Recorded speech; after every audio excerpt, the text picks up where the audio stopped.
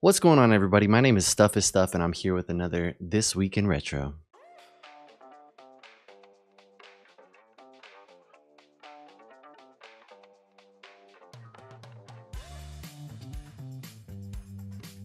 If you follow the retro community closely, you've probably heard of the Big 20.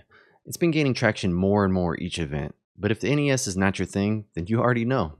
Genesis does what Nintendo don't. What Nintendo? That's right, there's a Sega race called the Mega 16, and it's put on by a group that goes by Sega Crew. This was originally started by a Twitch user named the Motherbrain86, and now it's on their seventh year. If you're unfamiliar with how marathon races work, for this race there are 16 games chosen, and each game has a different goal. This year's games and goals are as follows Blades of Vengeance, beat the game. Space Harrier 2, beat stages 1 and 2 on easy. NBA Jam, single game victory. The Berenstain Bears Camping Adventure, beat the game on easy. Trampoline Terror, beat stage 16. Mighty Morphin Power Rangers, beat Player 1 scenario mode. Micro Machines, beat Cue Ball Circuit and qualify. Vector Man 2, beat the game on lame difficulty. Dick Tracy, beat the Brow and bonus stage. Ariel the Little Mermaid, beat the game. Generations Lost, beat the game on amateur. Taz-Mania, beat the game. Shadow of the Beast 2, beat the game on easy. Cadash, reach Gnome Village. Streets of Rage 3, beat Yamato Boss on easy.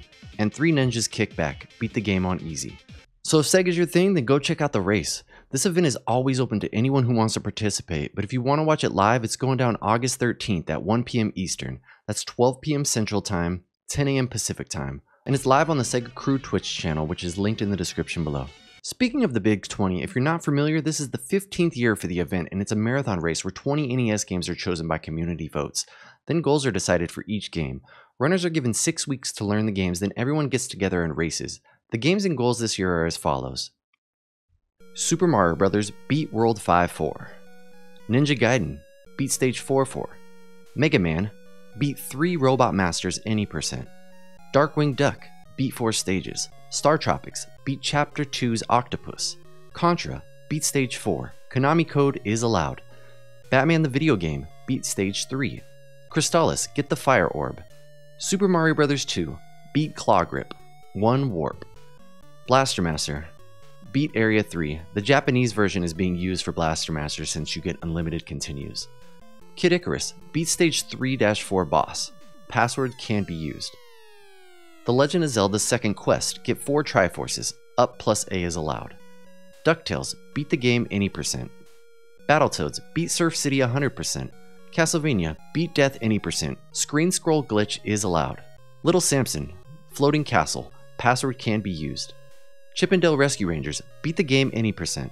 Zelda 2 The Adventure of Link beat P1 and P2, up plus A is allowed. Super Mario Bros. 3 beat World 5 and 6 any percent. And Mega Man 2 beat Wily stages on normal any percent. Password can be used. This is also open to anyone who wants to join, and there are already over 100 participants this year. The live race is happening on September 17th at 1 p.m. Eastern. That's 12 p.m. Central, 10 a.m. Pacific and can be watched on the Best of NES Twitch channel linked below. Next, I'd like to take a moment to recognize an awesome human in the retro community. Their name is MTK Woodworking. This person does so many amazing things, from building custom split pedals used for speedrunning, to awesome controllers, controller mounted cameras, ROM hacks, music, and much more. Everything they do is well thought out and always top notch. Go check them out at their Twitch channel linked in the description. You will not be disappointed. Some new Super Punch Out codes have recently been discovered. These codes are two button combinations to access. Two of these were already known, those being the sound test and the Japanese name input codes, but two more have been found. A Twitter user by the name of Unlisted Cheats posted them on August 8th. To access the new codes, at the title screen and using the second player controller, you will hold Y and R, then press A or start. This screen will appear. This allows you to select any character to have a single match with. All of the fighters are able to be chosen. This includes the special circuit characters too. Now is the really interesting part. If you then hold B and Y at the character info screen and press A or start, the character that is usually controlled by the CPU can now be controlled with the second controller.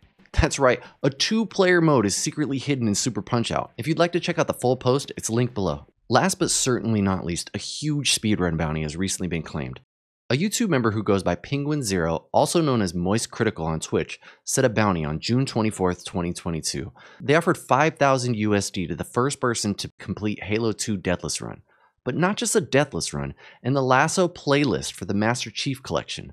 The LASO category stands for Legendary All Skulls On, but this playlist has every skull turned on with the exception of the Envy Skull. Most of the skulls in Halo work against the player, but the Envy Skull is actually helpful. What it does is it makes it so when you turn on your flashlight, you go invisible. And to make sure the run was legit, it had to be streamed live. Then, on July 16th, that bounty was increased to 20,000 USD. A runner and Twitch streamer by the name of Jervalin is the only runner to have a confirmed completion of the Halo 2 LASO run, but this playthrough had the Envy Skull active. It was largely considered to be impossible to do it without that skull, but on August 3rd, 2022, Jervalin did the impossible We did it! we did it.